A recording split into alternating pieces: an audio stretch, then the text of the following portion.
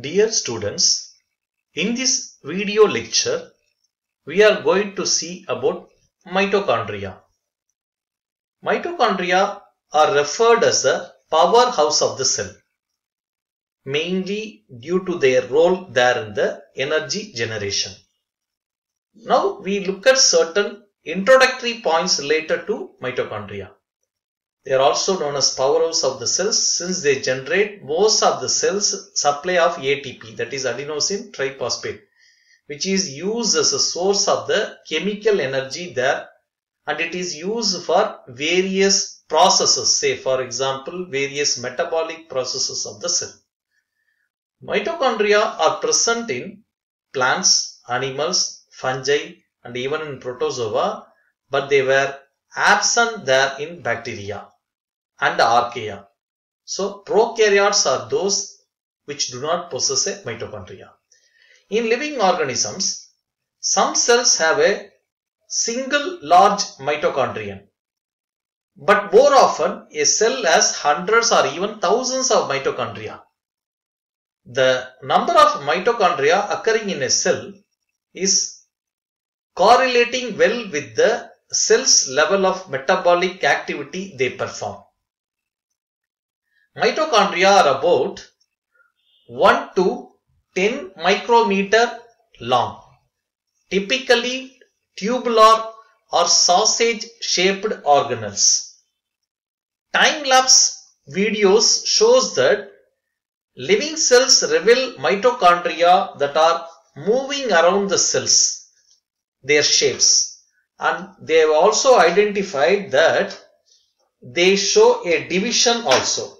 The DNA present inside the mitochondria helps there in their division. It is the DNA that codes for the mitochondrial proteins and other metabolites. And the DNA's genetic code is something similar to that of the one present there in the proteobacteria. The name of the proteobacteria is Rickettsia prowazekii. So that bacteria's genetic code and mitochondrial DNA's genetic code are one and the similar. Which supports the hypothesis that mitochondria is an organelle that have originated through endosymbiotic hypothesis or endosymbiotic basis through a horizontal gene transfer event.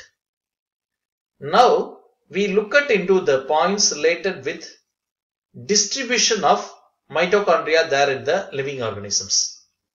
Mitochondria are found in nearly all eukaryotes as I already said. They vary in number and location and even according to the cell types. A single highly branched mitochondrion are a characteristic features of the unicellular algae Polytomella agilis. Even a significant numbers of mitochondria are present there in the liver cell. Say, in liver, 1000 to 2000 mitochondria were present per cell that makes about one fifth of the cell volume there in the liver cells. Now we go into the structure of the mitochondria. This cross section image reveals the structure of mitochondria. Okay. So this is a mitochondria cell has been put into a cross section and you are able to see the different parts there are different structures associated there with the mitochondria. Mitochondria, if you look at there, you will be having a first an outer membrane. Okay. Then an outer membrane will be followed by an inner membrane. You can able to see a inner membrane here. The outer membrane is the one that is present in the outside. So this is called as a outer membrane. Then an inner membrane will be there. These are all actually a cytoplasmic membrane. They can be a cytoplasmic membrane that is covering their mitochondria. In between these two things, you can able to see a intermembrane space. So this is an intermembrane space. Whatever content that have been present inside the inner membrane are referred by a term called as a matrix. This is matrix. Then you can able to see the various other contents that have been present there. The inner membrane of the mitochondria is forming into several foldings that are referred by a term called cristae. Cristae refers to the inner mitochondrial membrane foldings that in turn houses various numbers of FOF1 particles or elementary particles or oxysomes. So these are all the synonymous terms for the particles that have been present there. They are all actually ATP synthase molecules or ATP synthase enzyme that have been present there that play role there in the ATP production inside the mitochondria. So that thing in detail we will see in the subsequent videos. Apart from these structures, one important thing that have been present there is a DNA. You can able to look at here a DNA. So mitochondria is also having their own DNA. It aids in an independent division to that of the cell. That is, cell separately divides. However, mitochondria will be that have been present inside the cell will also divide independent of the cell division. So that could be facilitated there by the DNA which is present there. And you can able to see the ribosomes and even inclusion bodies that have been present there. So these are all the things that have been present there in the mitochondrial matrix region. Then you can able to see various voltage dependent anion channels that in turn help in transport of fatty acyl CoA molecule into the mitochondria. And you can also able to see certain inner transport system that help in transporting the molecules into the matrix region of the mitochondria. So this matrix region is the one in which enzymes that are required for the Krebs cycle or TCA cycles will be operating. Whereas the cristae region are the one in which electron transport chain will be operating. So this is the total structure there of a mitochondria that have been present in a cell. Now we will look at the explanation of its structure. Most of the part I have already explained with that image. So as I already told it is made up of two membranes each made of phospholipid bilayer which is similar to that of the plasma membrane or cytoplasmic membrane with a unique collection or embedded protein. The, those proteins are the one which involved in the transport which I have shown there in the image also. The outer membrane is smooth studded with the transmembrane protein channels called as porins but the inner membrane is convoluted with the inner folding called as a cristae. The inner membrane divide the mitochondria into two internal compartments. What are those compartments? The first one is the intermembrane space, the narrow region between the inner and outer membranes. The second one is matrix which contains different enzymes. Some of the enzymes there of the TCA cycle is also present there. I have already narrated there. As well as is found to house the mitochondrial DNA and ribosomes. Mitochondrial DNA help in a replication of the mitochondria independent of the cellular replication. Some of the metabolic steps of cellular respiration are catalyzed by the enzymes in the matrix. Other proteins that function in respiration including the enzymes that makes ATP are built into the inner membrane. It refers to ATPase proteins. They are also called as the oxysomes or FO and F1 particles or elementary particles. They are the sites of electron transport chain location. As the cristae is made up of a highly folded surfaces that is in the inner mitochondrial membrane, they provide a large surface area to fit in the various proteins that are related there with the electron transport chain.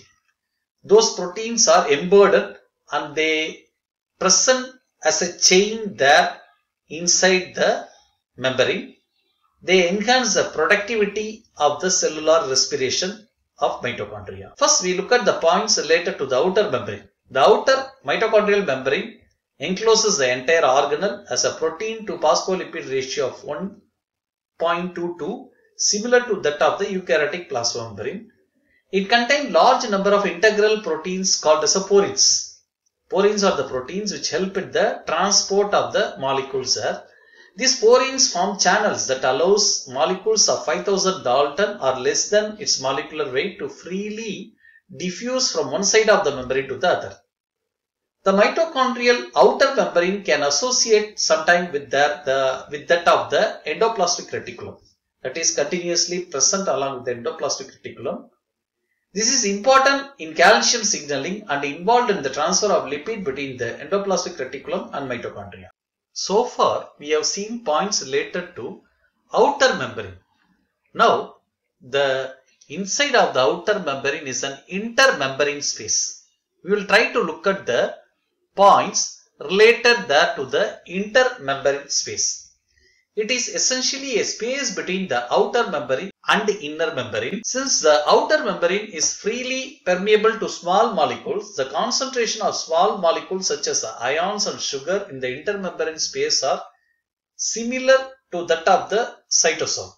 However, large protein must have a specific signaling sequence associated with them. Then only they will be transported across the outer membrane and they will be reaching into the inner regions. For example, proteins such as uh, cytochrome C need to have specific signal sequence. Then only it will be transported. So far, we have seen about the intermembrane space of the mitochondria. Now we will look at into the points related to the inner membrane. Okay, inner membrane is the one which has been folded upon itself to form into a cristae structure.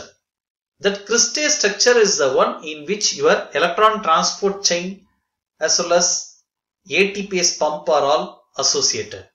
The inner mitochondrial membrane has a protein to phospholipid ratio of 3.54. The inner mitochondrial membrane contains protein with the following types of functions. They perform the redox reactions of the oxidative phosphorylation. ATP synthase which is present there at the end of an electron transport chain that is involved there in the production of ATP.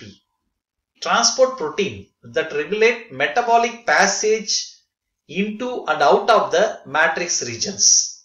Protein import machinery, various kind of protein importing machinery will be present or it again refers to some other kinds of a protein that have been present there in the inner membrane.